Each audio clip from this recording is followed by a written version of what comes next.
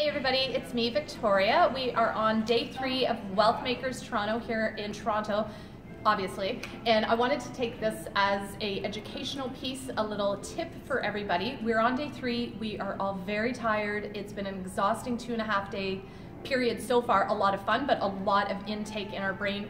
And most of the audience in here is in, it's a sea of gray and black and more casual, but I wanted to bring Heather out as an example of how to continue to show up as your best self. So Heather did a fantastic job of standing out from the competition today. Sure, she has black all underneath, but this beautiful fuchsia blazer makes her stand out even on day three. Most often people are thinking about that first impression and that is day one, but I always say every single time you meet somebody is the next time to make a great first impression.